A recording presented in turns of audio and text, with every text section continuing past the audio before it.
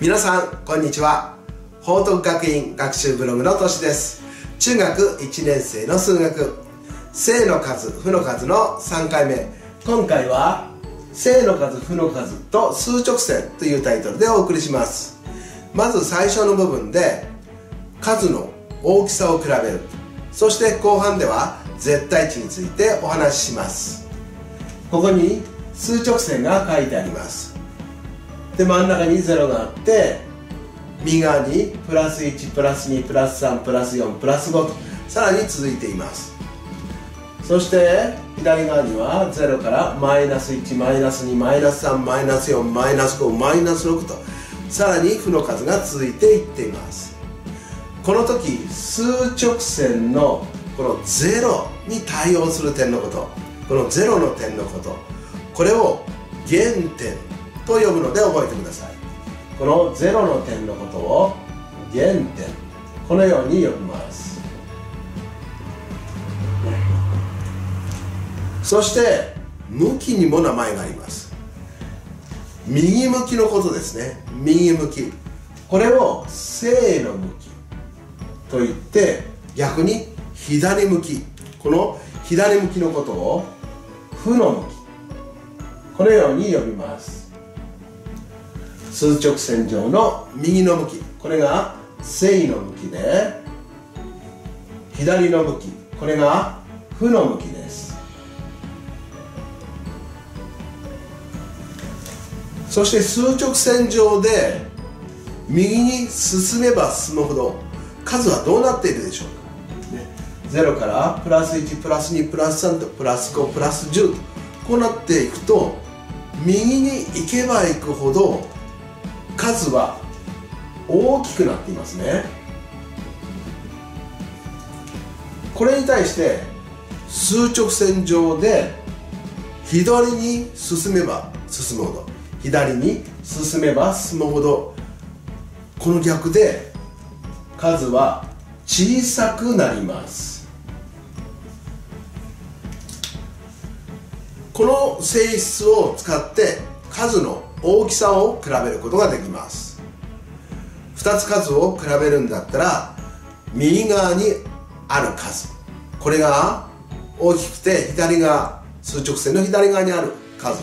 こちらは小さいということですね。もし3つ以上の数だったらそれぞれの数数直線のどこにあるか調べて左側にあるほど小さい右側にあるほど大きいということで大きさ順番に比べることができますね。では実際に数の大きさを比べてみます。この時不等号を使います。括弧1 5これはプラス5のことですね。5とマイナス1です。5の1はここですね。そしてここですね。そしてマイナス1はここになります。5とマイナス1どちらが右側にありますか？5ですよね。ですから5が大きいということで5の方が大きいということで不等号はこちら向きになります。さて今度は括弧にマイナス4とマイナス2です。負の数同士ですね。では数直線で調べてみましょう。マイナス4はマイナス1マイナス2マイナス3マイナス4ここですね。でマイナス2はマイナス1マイナス2と。ここです。マイナス2の方が右側にありますよね。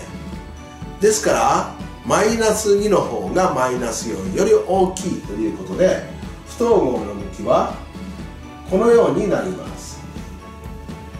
カッコ3です。マイナス6プラス3マイナス1この3つの数を比べます。この時には小さい方から順番に並べていくんですね。まずこの3つの数どこにあるか調べてみましょう。マイナス6というのはマイナス1マイナス2マイナス3マイナス4マイナス5マイナス6ここですね。ここがマイナス6です。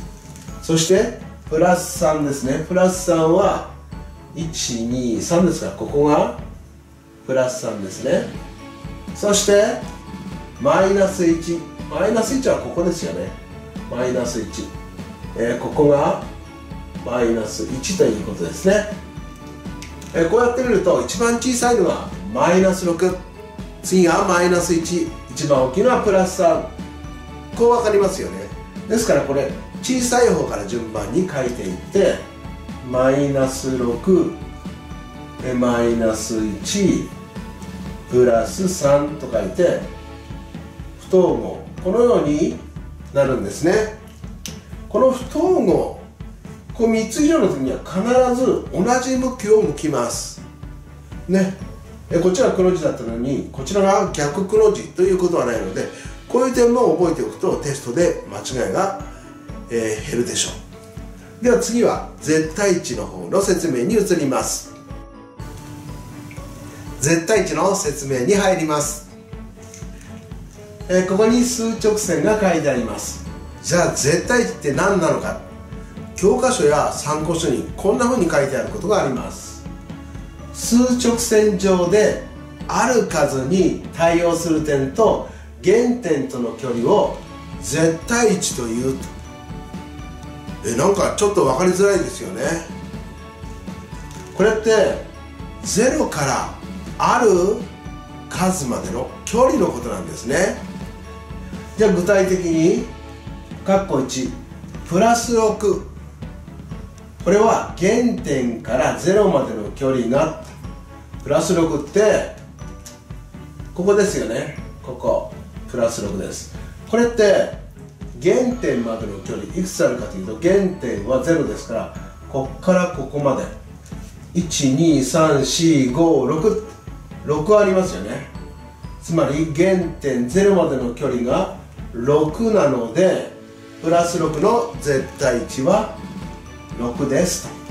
こういうことですね括弧にマイナス4はマイナス4印つけましょう。1234でここマイナス4ですね。マイナス側に4ついってマイナス4、えー、マイナス4は原点0までの距離。ここですね。ここここですね。ここの距離。1234、え、4なので絶対値は4ということになると、この説明はこういうことなんですね。でももっと簡単な覚え方あるんですよ。絶対値って何って聞かれた時ですね。それは絶対値は正の数負の数。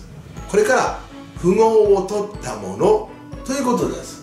ですからプラス6の絶対値はプラスの符号を取った6ですね。6マイナス4の絶対値はマイナスの符号を取った。4こっちの方が絶対簡単なんでこっちで覚えちゃった方が。いいですね。では次にいってみますね。絶対値が3になる数は？えー、ここの絶対値って正の符号負の符号を取った。ということですから、えー、3になっているのは正の数と負の数。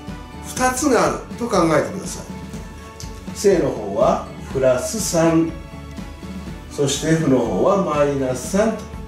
このように絶対値が3になる数。これは2つ出てきます。これイメージ的にはどうすればいいかというと例えばこの数直線を使った時コンパスを使ってこの数直線0のところに針を置いて円を描くとしてください。で半径が3になる円をこう書くとこの数直線と2箇所で交わるでしょ？ねここに針を置いて円を描くとこんな風に円が描けるでしょ？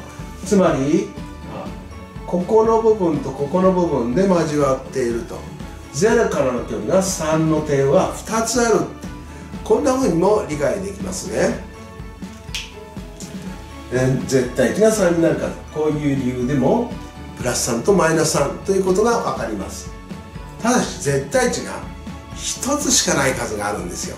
それは何かというとコンパスの針を置いた点です。つまり原点0の絶対値は1つ0だけです。これもここで覚えておきましょう。4番に行きます。絶対値が2より小さい整数。これはいくつあるかまず考えていきましょうね。まず絶対値が2になる数って正の方はプラス2だし負の方はマイナス2ちょっと点を取ってみますね、えー、プラス2はここですね。でマイナス2がここです。でこれより小さいということはこの範囲にある。ということです。そして2より小さいということはこのプラス2とマイナス2は入れないということですね。この範囲にあってこの範囲にあってここは入れない。となるとマイナス10プラス1この3つになりますね。マイナス1と0とプラス1これが絶対値が2より小さい整数。ということになります、ね、よく問題では絶対値がいくつより、えー、小さい整数は何個ありますか？なんてのもありますよね。ですからこの場合2より小さい整数はいくつありますか？と言ったら3つと答えますね。それは何ですか？って聞かれたらマイナス10プラス1とこう答えればいいわけです、えー、ここでは絶対値についてお話ししました。今日も最後まで見ていただきどうもありがとうございました。ではまたお会いしましょう。さようなら。